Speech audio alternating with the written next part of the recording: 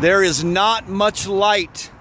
Uh, you can't see me very well, but it's of no account.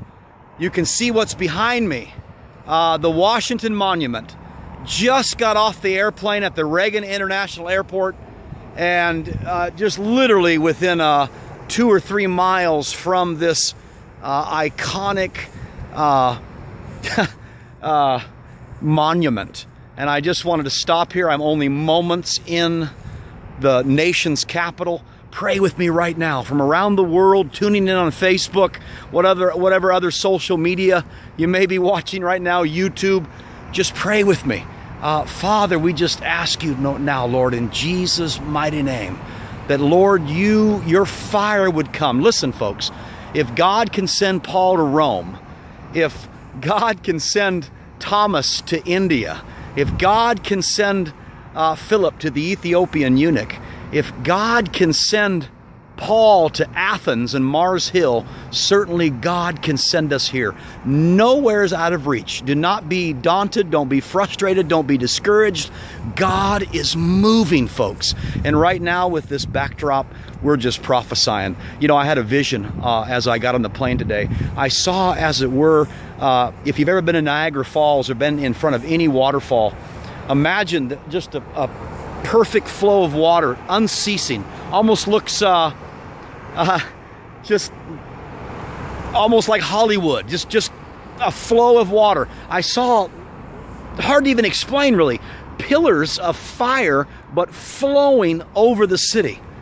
Just uh, from from the heavenlies just down over the city at different points and different strategic spots. Just waterfalls of molten fire and flame over the city. It was god's glory. It was god's power pulsating, uh, permeating, resonating through Washington, D.C. So we stand at this historic place right now in Jesus' mighty name and we pray, Father, fall. Let the fire fall.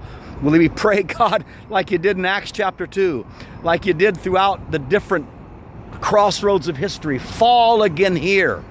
We pray for the nations of the world. We pray for missionaries in their endeavors. We pray for intercessors on their knees, even now watching this. Be encouraged. The Lord strengthen you. We pray for uh, single moms and housewives. We pray for uh, people out in the marketplace and, and youth and youth groups and pastors and shepherds that have been faithful. Be encouraged today from this place of prayer. God is moving and He's releasing the fire like never before right here on the streets, right here where we walk. I'm telling you, there's a move of God coming to the sidewalks the alleyways, the corridors, the boulevards, the the the backdrop of every every human experience God is moving.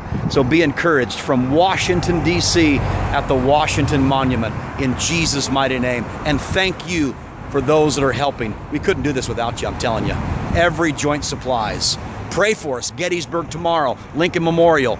Uh, and if you can come, Springfield, Virginia. I'll be ministering tomorrow night at 7 p.m. See the details on Facebook.